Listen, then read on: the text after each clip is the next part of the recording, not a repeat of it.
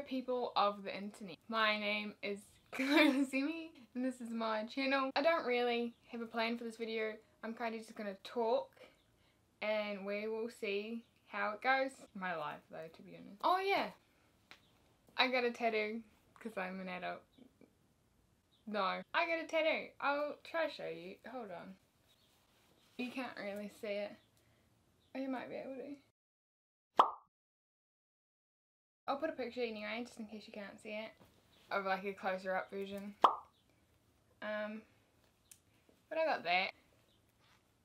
Another weird thing is like, my siblings have gone back to school, and a lot of other people younger than me have gone back to school, but I have not. I don't have set days anymore, whereas I would have Monday to Friday school, and then I'd have my weekend. But now it all just kind of merges together some of my friends also haven't gone to study.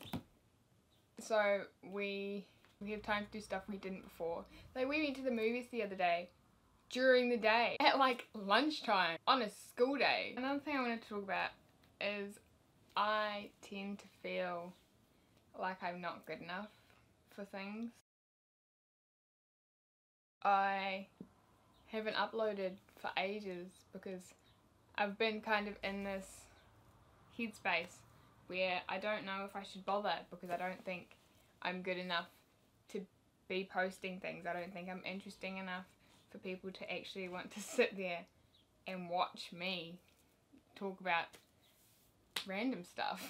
I normally don't go quite deep on my channel, but I don't know, somebody else that watches could feel similar and that's something. Oh, it's Valentine's it's Valentine's Day in like tomorrow, I think. What's the date? Tuesday the 13th, so it's Valentine's Day tomorrow. I also kind of think it's overrated, but that just could be because I'm not doing anything for it. I'm playing with a bubble wand, I'm sorry. Oh no. Stop! It's really weird seeing all my friends adult. I have friends that have moved to a completely new city to study for uni, and I have friends that are that are moving out of home. And it's just crazy. Doing all these adult activities is just crazy. And I get so proud of my friends for doing these adult tasks. I don't know what this was. This was nothing. I didn't I didn't get anywhere with this. I just sat here and talked I hope you enjoyed that whatever that was. I hope you have a lovely day if it's daytime where you're from or a lovely night if it's nighttime. I do hope you enjoyed it at least a little bit.